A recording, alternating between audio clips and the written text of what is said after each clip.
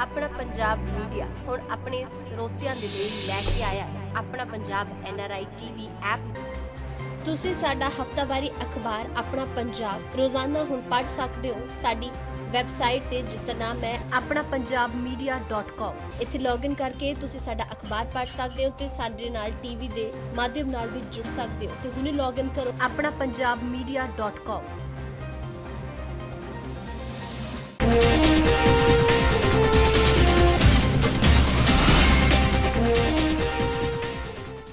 ਸਤਿ ਸ਼੍ਰੀ ਅਕਾਲ ਦੇਸ਼ ਵਿਦੇਸ਼ ਵਿੱਚ ਆਪਣਾ ਪੰਜਾਬ ਐਨਆਰਆਈ ਟੀਵੀ ਚੈਨਲ ਦੇਖ ਰਹੇ ਦਰਸ਼ਕਾਂ ਦਾ। ਮੈਂ ਕਮਲਪ੍ਰੀਤ ਸਵਾਗਤ ਕਰਦੀ ਹਾਂ। ਸਭ ਤੋਂ ਪਹਿਲਾਂ ਮੁੱਖ ਖਬਰਾਂ ਤੇ ਇੱਕ ਨਜ਼ਰ।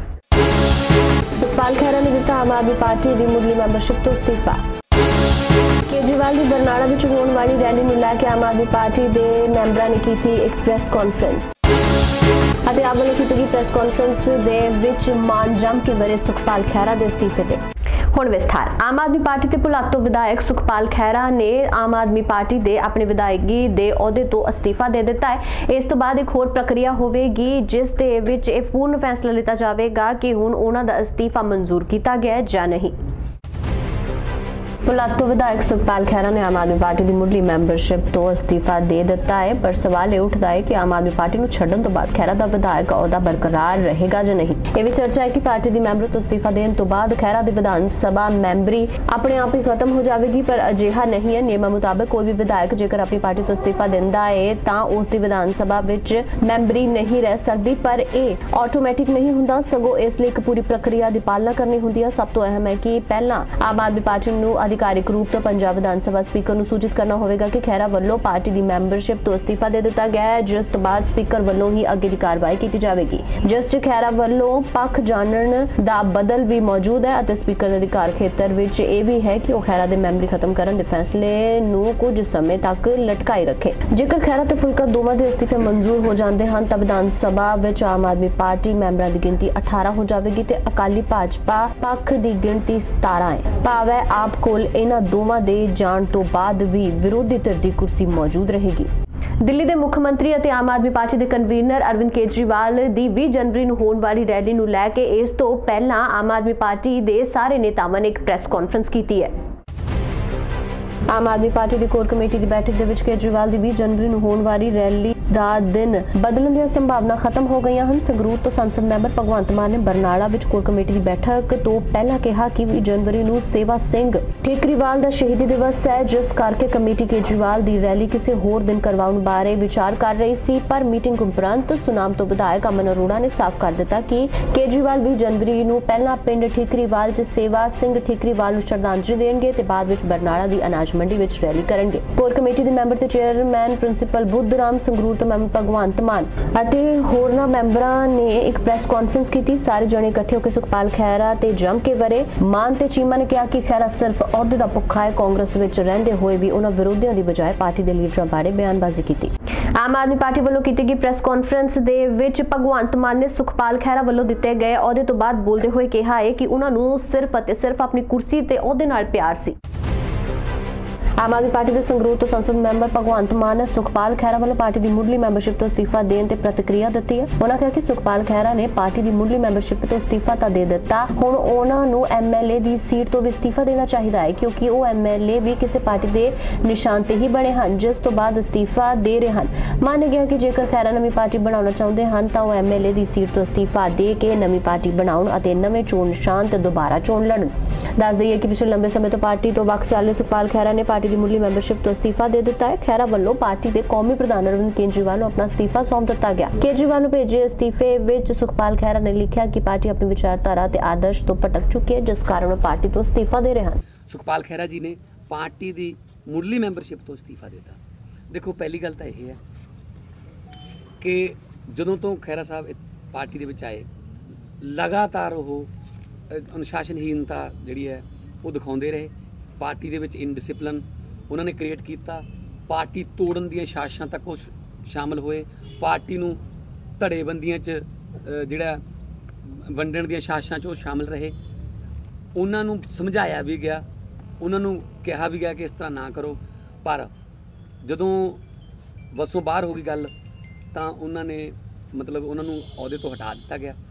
ਹਾਲਾਂਕਿ ਉਹ ਪਹਿਲੇ ਪਹਿਲੇ ਦੁਨੀ ਕਿਸੇ ਨਾ ਕਿਸੇ ਅਹੁਦੇ ਦੇ ਲਾਲਚੀ ਸੀ ਜਿਸ ਵੇਲੇ ਐਲਓਪੀ ਫੂਲਕਾ ਸਾਹਿਬ ਨੂੰ ਬਣਾਇਆ ਗਿਆ, ਉਦੋਂ ਵੀ ਉਹਨਾਂ ਨੇ ਇਤਰਾਜ਼ ਕੀਤਾ ਸੀ ਉੱਥੇ ਕਿ ਮੈਨੂੰ ਕਿਉਂ ਨਹੀਂ ਬਣਾਇਆ। ਜਿਸ ਵੇਲੇ ਮੈਨੂੰ ਪ੍ਰਧਾਨ ਬਣਾਇਆ ਗਿਆ ਪਾਰਟੀ ਦਾ ਇਲੈਕਸ਼ਨ ਤੋਂ ਬਾਅਦ 8 ਮਈ ਨੂੰ, ਉਸ ਵੇਲੇ ਉਹਨਾਂ ਨੇ ਚੀਫ ਵਿਪ ਦੇ ਉਹਦੇ ਤੋਂ ਅਸਤੀਫਾ ਦਿੱਤਾ ਸੀ, ਇਸੇ ਨਾਰਾਜ਼ਗੀ 'ਚ। ਸੋ ਉਹਨਾਂ ਦੀ ਇਹ ਗੱਲ ਕਹਿਣੀ, ਉਹਨਾਂ- ਉਹ ਕਹਿਣੀ ਹੋਰ ਹੈ, ਉਹਨਾਂ ਦੀ ਕਰਨੀ ਹੋਰ ਹੈ ਕਿ ਮੈਂ ਇਹੋ ਜਿਹੇ 100 ਦਿਨ ਲੱਤ ਮਾਰਦਾ, ਅੱਜ ਵੀ ਮੈਂ ਕਹਿਣਾ ਪਾਰਟੀ ਦੀ ਮੈਂਬਰਸ਼ਿਪ ਤੋਂ ਅਸਤੀਫਾ ਦੇਤਾ, ਪਰ ਉਸੇ ਪਾਰਟੀ ਦੇ ਚੋਣ ਨਿਸ਼ਾਨ ਤੇ ਤੁਸੀਂ ਐਮਐਲਏ ਹੋ ਭਲੱਥ ਤੋਂ, ਉਹ ਤੋਂ ਕਿਉਂ ਨਹੀਂ ਅਸਤੀਫਾ ਦਿੰਦੇ ਤੁਸੀਂ? ਤੁਸੀਂ ਉਹਦਾ ਛੱਡੋ ਨਾ ਪਹਿਲਾਂ। ਤੁਸੀਂ ਅਹੁਦਾ ਛੱਡ ਕੇ ਲਾਲਚ ਤਿਆਗੋ ਪਹਿਲਾਂ ਤਾਂ। ਤੁਸੀਂ ਅਹੁਦਾ ਛੱਡ ਕੇ ਆਪਣੀ ਪਾਰਟੀ ਬਣਾ ਕੇ ਭਲੱਥ ਤੋਂ ਬਾਈ ਇਲੈਕਸ਼ਨ ਲੜੋ। ਫਿਲਹਾਲ ਵਕਤ ਇੱਕ ਛੋਟੇ ਜਿਹੇ ਬ੍ਰੇਕ ਦਾ ਬ੍ਰੇਕ ਦੇ ਉਸ ਪਾਰ ਵੀ ਖਬਰਾਂ ਜਾਰੀ ਰਹਿਣਗੀਆਂ। ਆਪਣਾ ਪੰਜਾਬ ਮੀਡੀਆ ਹੁਣ ਆਪਣੇ ਸਰੋਤਿਆਂ ਦੇ ਲਈ ਲੈ ਕੇ ਆਇਆ ਹੈ। Apna Punjab NRI TV app play store ਤੇ ਜਾ ਕੇ ਡਾਊਨਲੋਡ ਕਰੋ ਜਿੱਥੇ ਤੁਸੀਂ 24 ਘੰਟੇ ਕਿਸੇ ਵਕਤ ਵੀ ਦੁਨੀਆ 'ਚ ਹੁੰਦੀ ਹਰ ਹਲਚਲ ਦੀ ਖਬਰ ਲੈ ਸਕਦੇ ਹੋ। ਇਸੇ ਦੇ ਨਾਲ ਹੀ ਆਪਣਾ ਪੰਜਾਬ media.com ਜਿੱਥੇ ਤੁਸੀਂ ਸਾਡਾ ਈ-ਪੇਪਰ ਕਦੇ ਵੀ ਪੜ੍ਹ ਸਕਦੇ ਹੋ। ਆਪਣਾ ਪੰਜਾਬ media.com ਤੇ ਤੁਸੀਂ ਸਾਡਾ ਆਪਣਾ ਪੰਜਾਬ ਐਨਆਰਆਈ ਟੀਵੀ ਵੀ ਦੇਖ ਸਕਦੇ ਹੋ ਤੇ ਸੋਸ਼ਲ ਮੀਡੀਆ ਤੇ ਵੀ ਤੁਸੀਂ ਸਾਨੂੰ ਫੋਲੋ ਕਰ ਸਕਦੇ ਹੋ। ਵਧੇਰੀ ਜਾਣਕਾਰੀ ਦੇ ਲਈ ਤੁਸੀਂ ਸਾਡੇ ਈਮੇਲ ਆਈਡੀ ਤੇ ਲੌਗਇਨ ਕਰ ਸਕਦੇ ਹੋ। ਤੁਸੀਂ ਇਹਨਾਂ ਨੰਬਰਾਂ ਤੇ ਸੰਪਰਕ ਕਰ ਸਕਦੇ ਹੋ। ਸਾਡਾ ਨੰਬਰ ਹੈ 5169983222 ਸਾਡਾ WhatsApp ਨੰਬਰ ਹੈ 9294136789 9815540000 ਅਤੇ 7009177729 ਤੇ।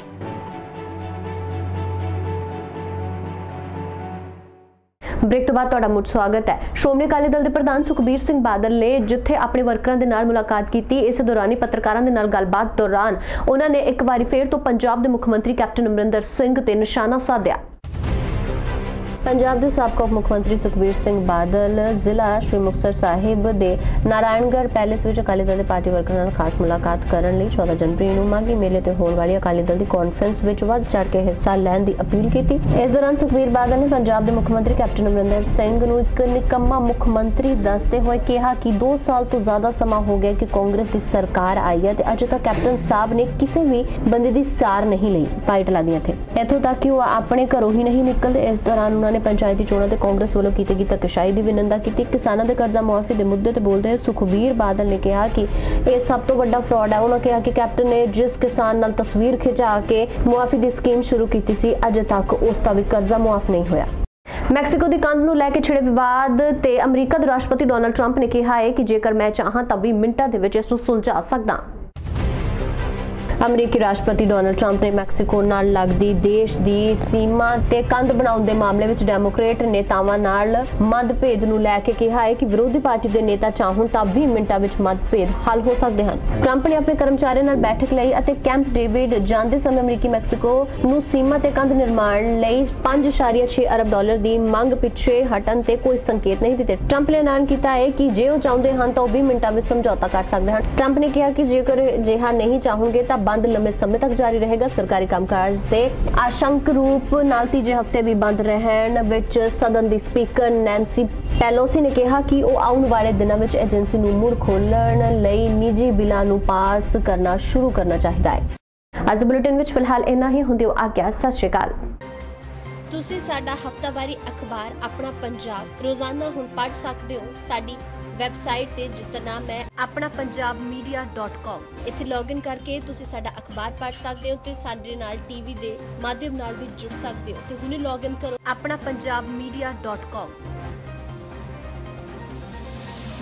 ਆਪਣਾ ਪੰਜਾਬ ਨਿਊਜ਼ਪੇਪਰ ਦੇ ਵਿੱਚ ਅਤੇ ਆਪਣਾ ਪੰਜਾਬ ਐਨਆਰਆਈ ਟੀਵੀ ਤੇ ਐਡ ਦੇਣ ਲਈ ਸਾਨੂੰ ਸੰਪਰਕ ਕਰੋ।